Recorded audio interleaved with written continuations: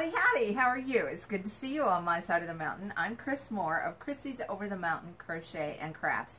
And you may have already covered your storage cube cover with fabric. I have a video, the links will be down below. But what this is, in case you're new, is these little storage cubes you can get from Walmart, Family Dollar, just out and about. You can cover them with fabric and create a beautiful product and then Today I'm going to show you how to embellish with these fabric patches that have been fused and have fleece on them and then we will glue them on. I have a button for some interest. We'll get to that in a minute. Let me quickly, just quickly, go over how to measure your storage cube. Just really fast. You'll, any box or any storage cube you measure three inches in, go all the way around, three inches down, do it for both sides. For this storage cube, 10 and a half inches wide, I got this one at Walmart, you will need a 16 inch wide by 38 inch long piece of fabric. You will need two of them. And the video below will show you how to work with plaids and how to get that to match. So let's get on to the embellishments and how to make these fussy cut appliques. This one is cute. These are just sitting on here because it's flannel. Now, if I had a cotton fabric, it would not just sit like that. But um, I arranged these with some ladies in one of my live chats on Facebook. I'll get those all straightened up. Uh, but we had a good time doing that. I'm going to run a piece of flannel through this button and glue it on and then maybe add another little button just for interest. So here's how you make the appliques. This fabric I fell in love with. It's cute. It has a lot of nice little motifs. Really cute. I'm going to be giving this as a baby gift. So this pertains to how the mother has decorated the home. So the first step is a roll of Heat and Bond Lite. Heat and Bond Lite has glue on one side and paper on the other side and you cut out your fabric that you want to have fused or that you think you're going to fussy cut. You cut out your fabric. Then you cut the Heat and Bond Lite maybe a half an inch smaller than the piece of fabric that you have. Let me see if I got this one right or not. I might not be laying this in the right manner because I should have already cut. Yes, this is good. Well, I have a little corner there that's going to create trouble. The reason why I don't want this um, I want this to be away from the edge, is that I don't want the glue to seep when I iron this on. Let me take this to the ironing board.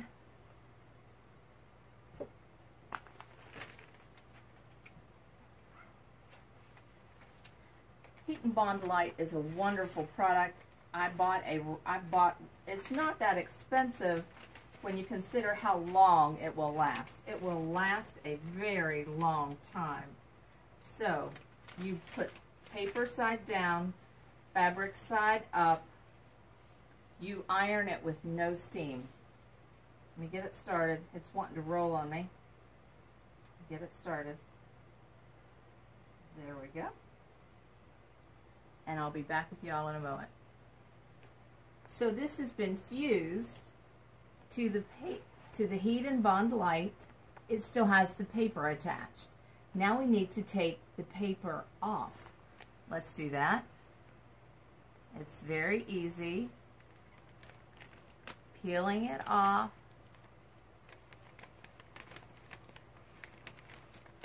Get it all started here. And you can see there's glue left behind. There's a residue of glue left behind on this fabric. There we go. Throw that away. That's just paper. But there is glue all on the back of this fabric. Now what the next step is, is another iron. We need to iron again onto a piece or scrap of sewable fleece. This sewable fleece, um, you can get a generic brand. They don't work as well as the name brands. The name brands are Pellon, but this is something that you um, use to put inside of a, a purse or to make placemats with. It's just something that will give a little density and you can quilt with it, but it's not going to be like quilting with batting. But anyway, I've cut a piece that will hopefully be big enough for this piece of fabric, and yes it is. I'll smooth it out, and I will take this to the iron, and I will iron this onto the fusible fleece. No steam, but I suggest placing a cover over top of this to iron it as you can really melt this Pellon easily. So let me get started on that.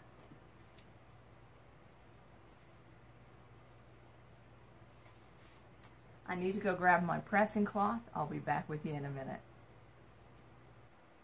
I'm back with the fabric that has been fused to the fleece. Now it's time to cut it out, cut out what little fussy piece we want to cut.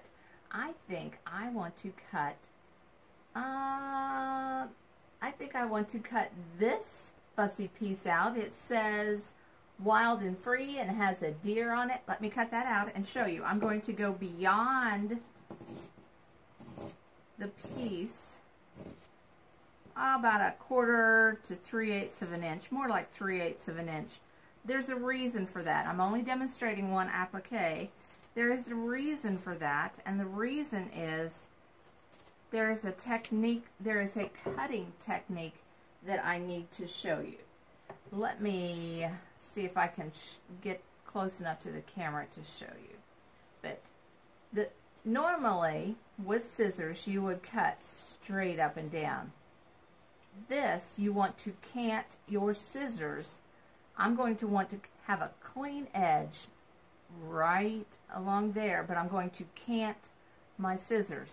That helps cut away some of the bulk on the uh, of the fleece from the underneath side but yet it gives a really nice treatment. That way when folks see the applique, they're not seeing all the um, all of the fleece sticking out on the back side. Let me get it started and show you, and then we'll move on. Can you, can you see how I am canting my scissors? Let me hold this straight so you can see that I'm canting the scissors. There we go. Let me snip that off. And I don't know if you can tell or not, but that gives it a beveled edge. I'll try to get a good picture of that for you. All right, let's move on. So I'll be working from this side of the table so that I can show you uh, a little bit easier on how to glue this down instead of being so far away. Want to go over this really quick again. You can fussy cut, go a good um, 3 eighths to a quarter of an inch around, and then bevel your scissor, um, cant your scissors, cant the scissors so that um, the fleece is beveled. I don't know if you can tell, but that is beveled. All right, so let's work on gluing these pieces on. I've placed my pieces in a, in a manner that is pleasing for me. You may only want one applique in the very center, and that would be just fine. But I like this collage of appliques. So I'm going to make a mental note I'm going to glue this one on first, but I'm making a mental note that I it will be on that edge and this upper edge. Right? Is that right? No. Just below the white line, right beside that white line. But it's it takes glue. It does, you don't be shy about adding the glue to the patch. Here's how I do it. I lay it down and I add lots of glue. I go around the outside edge, go around that outside edge, then I glue the dickens to it in the middle. Can you see how I'm doing that? Let me push that up out of the way. Let me pick it up so you can see.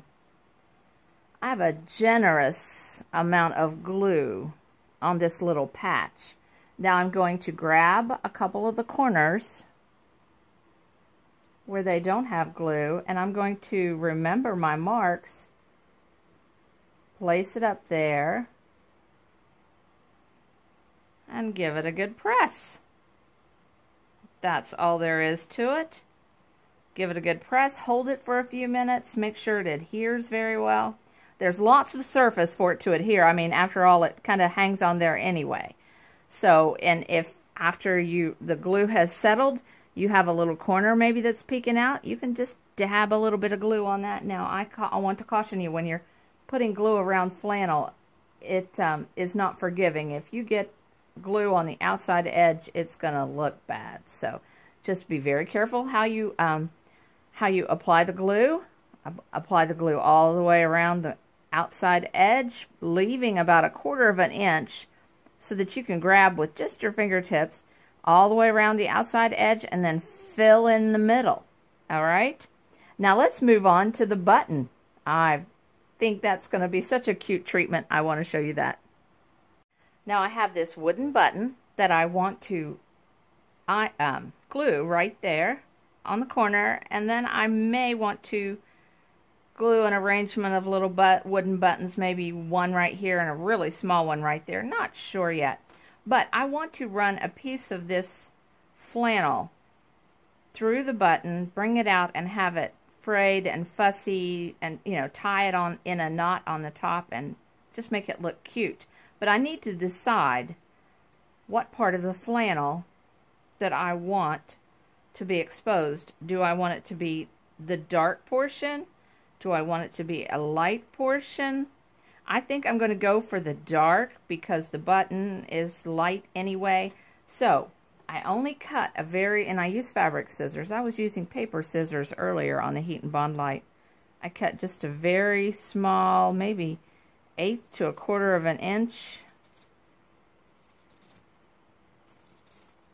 strip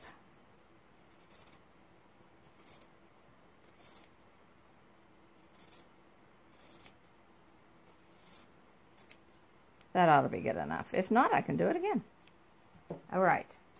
And I have a large needle. I have a needle that has a large eye in it. Let me see if I can get that close to you so you can see. Has a large eye in it. All right, so I'm going to run the fabric right through that needle. Super simple. Look, it went right through that needle. Now, going to use, go up. I'm going to pull this through the button.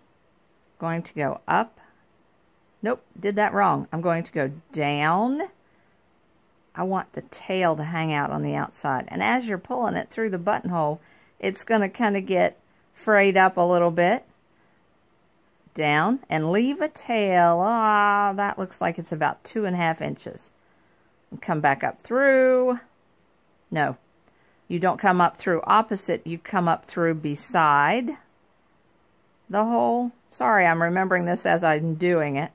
I'm going to want to turn the flannel, make sure the flannel is turned so it's exposed. So, I came up. I'm going to flip that flannel so that it's out toward the outside. There we go. Did you see that? I flipped the flannel so it's out toward the outside. I came, I went down in that hole I came up in this hole, I'm going to go across and go down in this hole. Yep, it still looks, still flipped on me. And now I'm going to come back up in this hole. I'm going to take my needle out. I've got plenty of fabric here. I'm going to tie a knot. I'm just going to mess with this and make it look pretty. I'm going to tie a knot just a square knot. Let me lay it down so I can tie a square knot.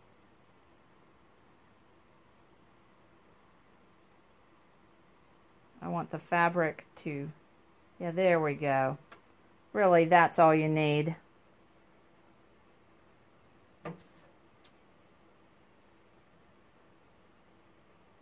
Cut your ends off. Oh, I like the way that looks. I'm going to mess with it, just kind of make it look kind of messed with and old. I might want to cut those a little shorter. About the length of the button. That's what it, the width of the button. Little past the width of the button. There we go. Just kind of mess with it a little bit. Now I'm going to glue that. Well, I just pulled on it and messed it up. going to glue that right there. I want it to look fussy, messy. All right, let me get some glue and I'll glue that on. I am going to glue put a lot of hot glue right there. I'm going to put a lot of hot glue right there, and I'll be right back. Lots of glue on that button. And I'm going to put it in the corner. I want my danglies to be down, so I'm going to put it right there. I'm going to hold it. And there we go. How about that?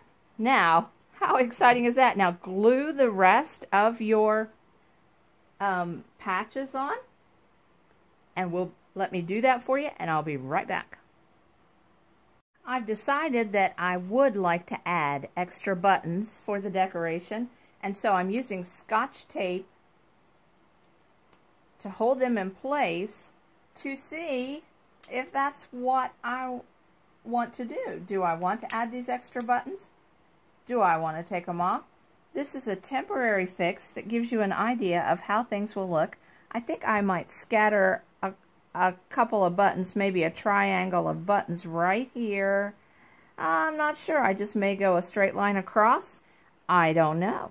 But I know I will be scotch taping my buttons in place and then deciding how I want them and then I will hot glue these to the box. I'll be back. And we are done. Isn't that beautiful? I love this little box. It's going to make a beautiful gift for that new baby in their room. We have two more steps. They're quick. They won't take long, but I suggest taking E6000 and sticking a little bit of it underneath all of those buttons. The second one is a bottle of Fray Check. You might want to take and put a little bit of Fray Check around all of the appliques. Not necessary. I've made um, these basket covers for my daughter, and I did a, a cutout of a moose. It's really cute. I'll have that out on another on another video, and uh, made the applique of the moose, and I don't I didn't put fray check on it and it's just fine. And if it frays a little bit, it just adds to the character of the box. But this is just beautiful. I've also crocheted three little beanies for the baby. And I took some of the flannel from the, uh, some of the plaid flannel and made a little fabric patch. And sewed a button on. And I fused that fabric piece of fabric. I frayed it, and I fused it, and I uh, fused it onto Heat and Bond Lite. Then I fused it onto the fleece. This one's my favorite. And then I folded it in half. It was a one and a half inch by three inch long strip. Folded it in half and sewed the button on. It just made for a beautiful treatment. I'll add a few more things into the box. And I have a nice gift box for a new baby. Well, it was good to have you on my side of the mountain. I will have the pattern for these hats. They're three different sizes. You know, babies are, babies are, this was a good size baby, so I wasn't sure what size. So this is the largest, this is medium, and this is small. And I will get those patterns up on my website. It was good to have you on my side of the mountain. I hope you'll come again soon. Bye.